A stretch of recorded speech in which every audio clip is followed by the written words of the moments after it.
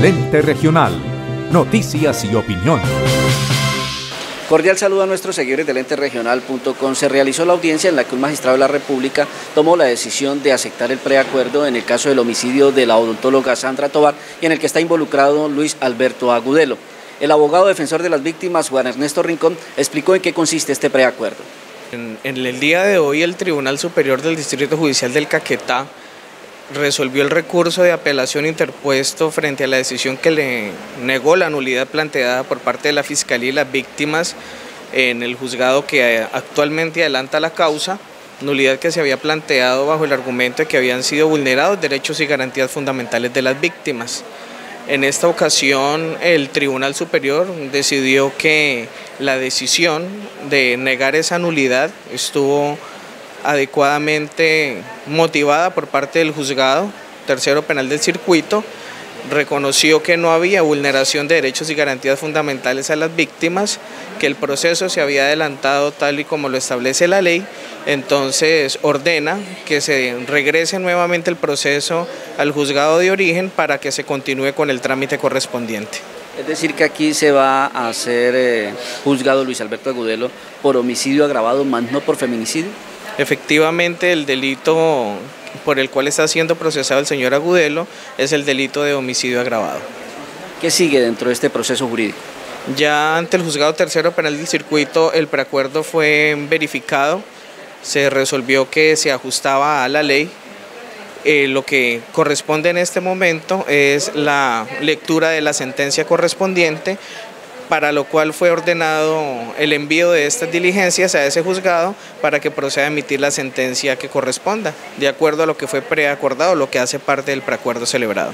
Señor abogado, de acuerdo a ese preacuerdo, ¿cuántos años eh, de cárcel tendría que pagar Luis Alberto Agudelo? Dentro de lo que se pactó en ese preacuerdo, la pena quedó establecida en 18 años de prisión. Pero también buscamos las reacciones con los familiares eh, de la odontóloga Sandra Tobar. Misael Tobar, su hermano, se expresó en torno a esta decisión que tomó el magistrado. La posición que toma el magistrado, eh, pues para nosotros es lastimosa. Mm, radica fundamentalmente es en que todo este proceso quedó mal imputado desde el principio. Quiere decir que los fiscales que iniciaron, o el fiscal que inició el, eh, desde la acusación y luego la imputación, que quedó mal.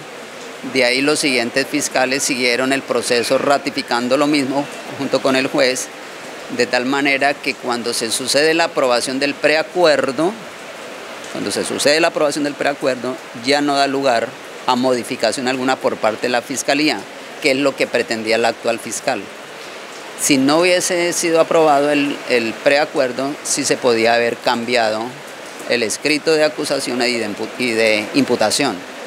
Entonces estamos pues sorprendidos, pero yo pienso que la ley colombiana tiene muchas puertas y por alguna de esas puertas puede haber una solución favorable a nosotros. Yo concluyo con lo siguiente, que es lamentable en nuestro país que una situación eh, real sucedida y vivida por nosotros, la familia Tobar Plaza, que es un auténtico feminicidio agravado. Eh, la justicia eh, no profundice bien porque nunca nos llamaron a nosotros a investigar cómo era la convivencia, cómo fue la convivencia durante 24 años, qué estaba sucediendo al, al interior del hogar.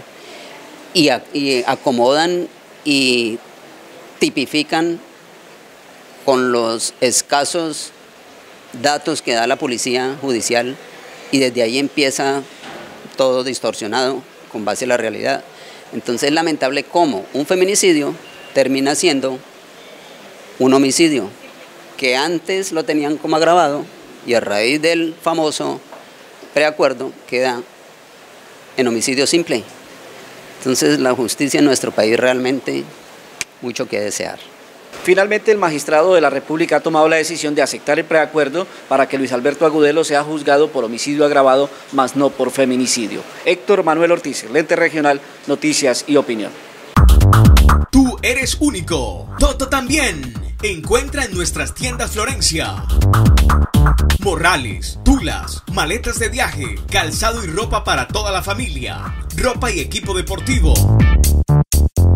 Toto Centro, carrera 12, número 1423, Parque Principal, Centro Comercial Gran Plaza, segundo piso, local 206-207.